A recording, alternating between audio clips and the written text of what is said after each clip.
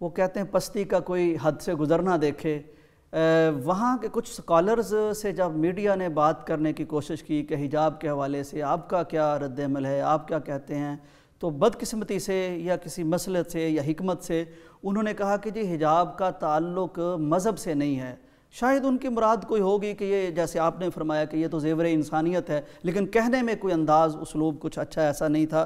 तो ये जो ख़वान जो मैदान में हैं, हिजाब के लिए हैं इन्होंने फिर कहा कि अगर ये बात आप स्कॉलर्स कर रहे हैं ना कि इसका ताल्लुक मज़हब से नहीं है तो फिर आप एक काम सिर्फ़ करें कि मस्जिद का लाउड स्पीकर खोलें, उससे ऐलान कर दें तो हम ये निकाब, हिजाब उतार देती हैं, अगर आप ये समझते हैं स्कॉलर ये समझते हैं। अब ये जो किसी बुज़ुर्ग ने जो बात कही है, किसी मौलाना ने या किसी आलिम ने, वो चाहे किसी मसलहत के तहत कही है। ऐसे माहौल में जब ईमान को गरमा देने वाली सिचुएशन पैदा हुई हो ये नादा गिर गए सजदे में जब वक्त जब वक्त क़याम आया वहाँ अगर कोई आलिम ये बात कर देता है तो उसके बाद मैं समझता हूँ बड़ी ज़बरदस्त बात आई उन हिजाब लेने वाली हमारी बहनों की तरफ़ से कि ये बात आप लाउड स्पीकर पे कहें हम्म। और ऐलान करें कि इस्लाम का इसके साथ कोई ताल्लुक नहीं तो हम उतार देती हैं। हम तो खड़े हैं अपना ईमान बचाने के लिए। हमारा कोई ज़ाती मसला तो है नहीं। तो जब वो इस्लाम बचाने की जब जब इस्लामी अकदार का तहफ़ हो रहा हो और ऐसी सूरत हाल में कोई इस तरह की आवाज़ आ जाए तो इस्लाम को कमज़ोर करने का इससे बड़ा ख़तरनाक हमला और कोई नहीं हो सकता। वो चाहे किसी आलिम की तरफ़ से आए, किसी जाहिल की तरफ़ से आए, वो आलिम हो या जाहिल हो, दरअसल ये इस्लाम को कमज़ोर करने की एक साजिश है। और ऐसे लोगों की तरफ़ से हमेशा आती है जो मट्टी के साथ मट्टी हो चुके हैं और इस्लाम की जो हमीयत है और दीनी हमीयत है, वो सिरे से उनके दिलों से रुखसत हो चुकी होती है। तो दूसरी तरफ़ वो लोग हैं जिनको अल्लाह ताला ने ईमान इतना मज़बूत दिया है और वो बिल्कुल डट के खड़े हुए हैं हालात जिस तरह के भी हों।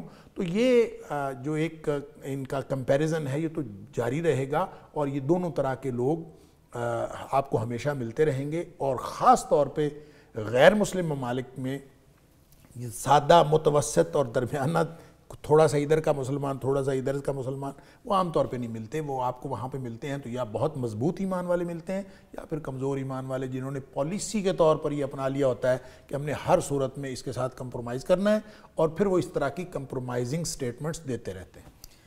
अल्लाह अकबर, नाजरीन, दो तरह के लोग होते हैं। जब हम कुरान को पढ़ते हैं, वहाँ भी दो तरह के लोग मिलते हैं। लेकिन तीसरी तरह के मुनाफिकीन भी बहरल होते हैं, लेकिन जब जहाँ मैदान सजा हो, जब मकतल हो, जहाँ फ़ील्ड हो, वहाँ फिर दो तरह के लोग सामने आते हैं। कुछ वो होते हैं जो कहते हैं कि देखो कितनी फ़ौजें आ गई, अब डर जाओ, अब बहुत बड़ा मुल्क है, अब कानून है, ला है, अब जान बचाओ। और कुछ कहते हैं हाँ यही तो वो मौका था जिसका हमसे वादा है। अब तो मदद आने वाली है। और वो फिर ये शायर की ज़ुबान में कहते हैं कि, मुदाहनत न सिखा जबर नारवा से मुझे।